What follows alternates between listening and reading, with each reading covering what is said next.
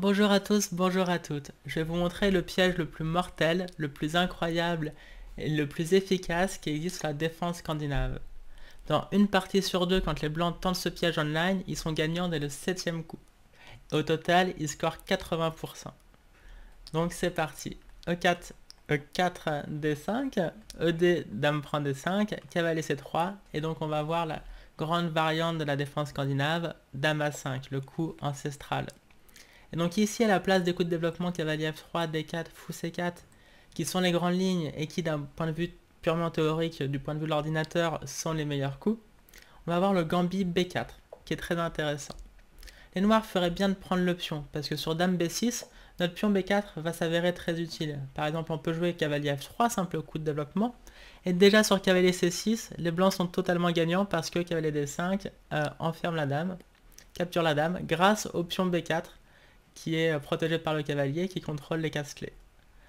Ok, donc si à la place de cavalier C6, les noirs tentent pion C6 pour se faire des cases de fuite, là on va utiliser le pion B4 comme un bélier pour démolir la position noire. On va jouer un petit coup de tour B1 et puis B5 va venir et on voit que là aussi le coup B4 et le pion B4 se sont avérés très utiles. Donc à la place de ça, les noirs doivent prendre le pion. Et donc là le coup le plus joué c'est tour B1. Et les compensations pour le pion sont assez évidentes. On gagne des tempi sur, sur la dame noire. Euh, et la position est plus ou moins égale avec l'activité et le développement des blancs qui compensent le pion noir. Mais on va pas jouer tour B1. On va jouer euh, un coup qui est beaucoup moins joué, donc beaucoup moins connu, cavalier B5. Avec une menace directe, euh, cavalier prend C7, fourchette. donc là, le coup le plus joué et le meilleur coup pour les noirs est dame A5. Sur quoi on répond par fou C4 avec, euh, c'est un, coup de développement, et déjà des petites idées euh, de pointer sur le pion F7. Ok, et donc là, comme vous pouvez voir, le coup le plus joué, dans une partie sur deux, les noirs euh, répondent par C6. la bonne nouvelle, c'est qu'on est déjà totalement gagnant ici. Mais il y a deux coups qui sont tentants pour les blancs. Il y a fou prend F7 et dame H5. Alors c'est très important de bien connaître parce qu'il y a un coup qui est totalement gagnant et l'autre coup qui est totalement perdant. Donc on va commencer par regarder Dame H5 avec une menace assez évidente Dame prend F7 et une menace qui est un peu moins évidente Cavalier D6 échec qui gagnerait la Dame euh, grâce à la découverte. Donc là vous pouvez voir le coup le plus joué par les noirs c'est G6. Ça n'a pas paru la menace Cavalier D6 donc les blancs gagnent la Dame. Donc G6, le coup le plus joué, perd. Euh, C prend B5, deuxième coup le plus joué. Les blancs sont totalement gagnants parce que Dame prend F7. Sur Roi D8, on prend en F8 échec et ensuite on peut prendre le cavalier. Hop, si on y arrive. Euh, et sur Roi D7, on peut d'abord faire un petit échec en E6. Euh, sur Roi D8, Dame prend F8. Ça, ok, c'est la même chose. Et sur Roi C7, le meilleur coup, bon, il y a beaucoup de coups qui sont gagnants évidemment. Mais le mieux, c'est Dame F4 échec. Sur roi D8, on prend un F8, et sur roi B6, on peut prendre le fou, tout simplement. Le matériel est égal, mais il suffit de voir la position du roi noir euh, pour comprendre que les blancs sont évidemment totalement gagnants. Donc, euh, le premier coup le plus joué sur dame H5, G6, perd la partie. C prend B5, deuxième coup le plus joué, perd la partie. Troisième coup le plus joué, E6, bah ça part pas cavalier D6. Donc, on gagne tout de suite.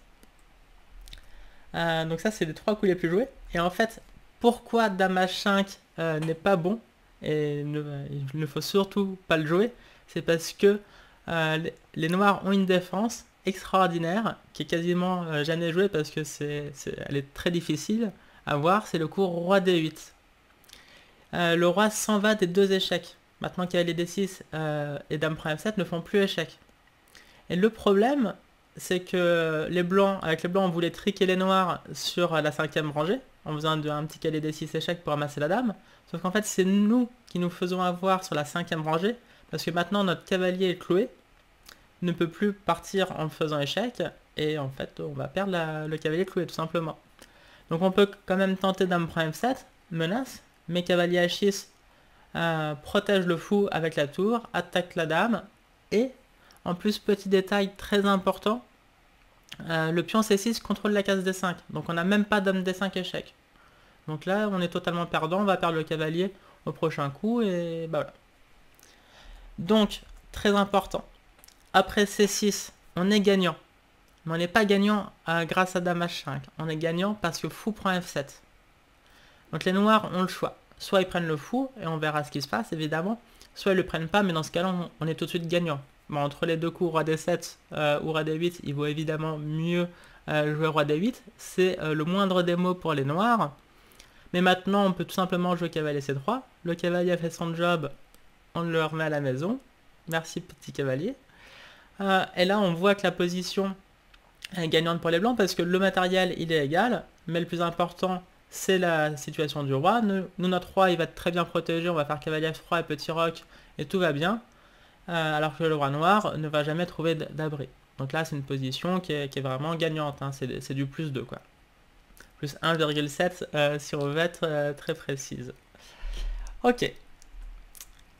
Donc, sur fou prend F7, les noirs doivent prendre le fou. Roi prend F7. Là, on fait dame H5 échec. Et les noirs n'ont que des mauvais choix. Euh, sur G6, on gagne la dame par cavalier D6. Assez facile. Sur E6, on gagne la dame par cavalier D4. Ça revient plus ou moins au même. Et sur roi F6, eh ben, on, inclut le fou dans l'attaque. Donc grâce au coup euh, B4 qu'on avait joué euh, précédemment. Fou B2 échec, seul coup E5.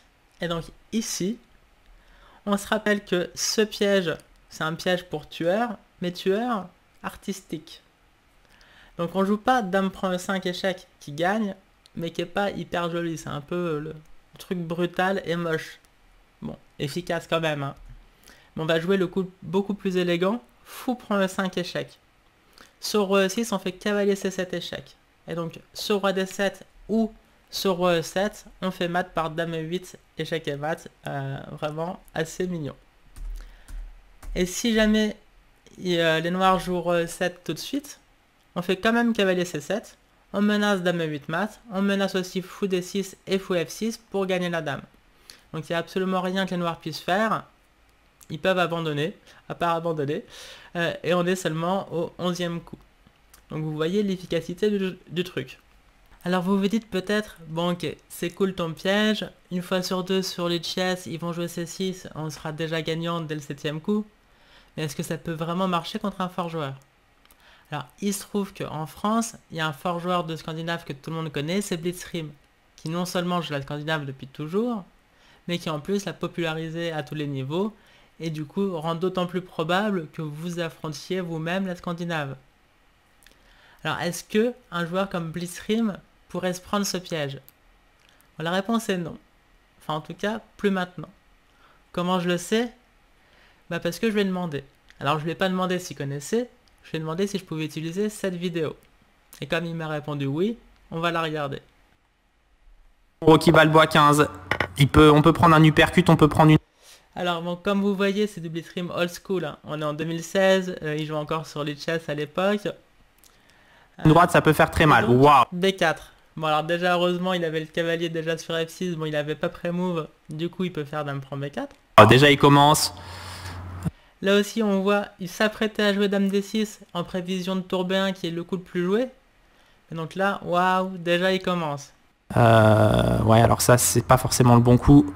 C'est pas forcément le bon coup. Je sais pas s'il parle de cavalier B5, qui est effectivement pas forcément le bon coup, mais comme on va voir, c'est piégeur. En revanche, son coup dame A5 est bien le meilleur coup.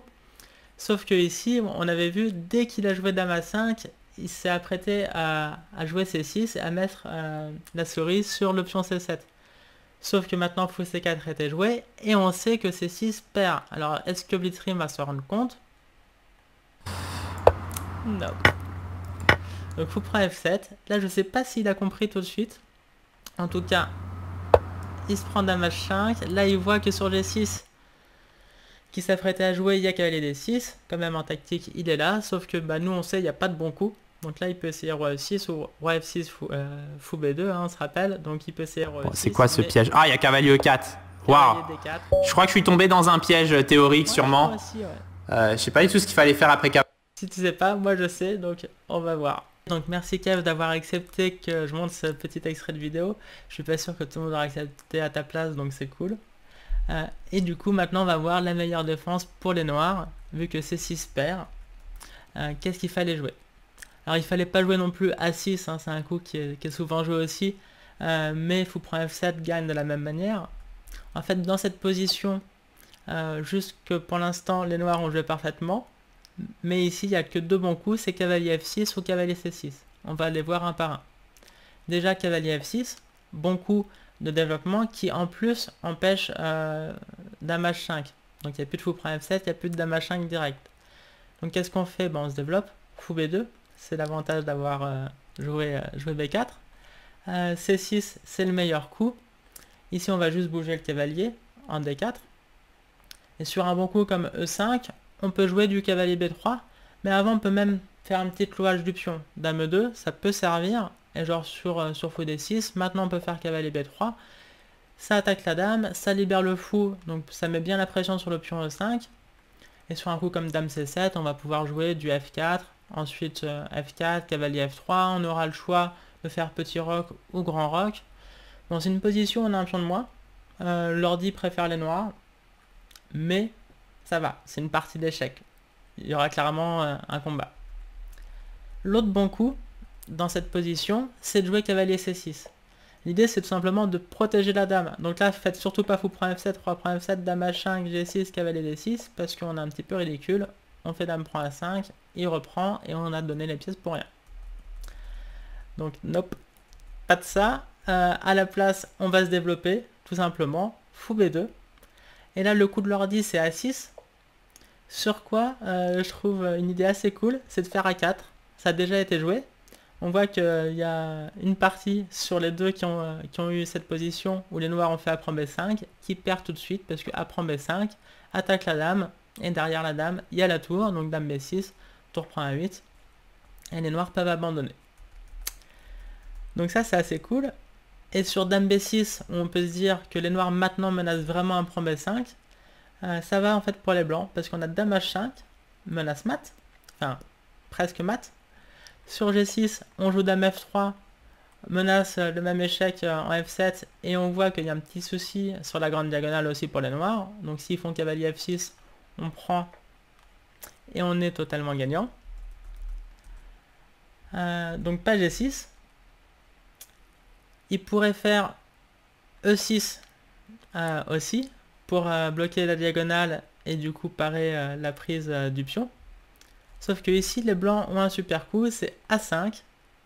Et sur cavalier prend A5, les blancs sont gagnants. Et ça sera ma question pour vous. Comment est-ce que les blancs gagnent dans cette position? Vous laissez la réponse en commentaire si ça vous dit. Si ça vous dit aussi, laissez un petit like, ça me ferait plaisir. Et bien sûr, si vous voulez pas rater euh, le futur contenu que je suis amené à faire tout prochainement, abonnez-vous à la chaîne. Merci, je vous souhaite une bonne journée. Ciao